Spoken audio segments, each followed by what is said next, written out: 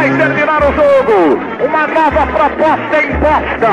É uma resposta ao cansativo massacre feito à liberdade individual do jogador do Brasil. Uma resposta ao sufoco, à prisão que sofreu o jogador brasileiro. Uma resposta à falta de liberdade, de expressão, à falta de jogador do Brasil. A falta de liberdade, de liberdade no drible, de liberdade no toque, de liberdade no jeito à brasileira. O jogador brasileiro, como o povo, precisa da liberdade para jogar, para se expressar, para se comunicar.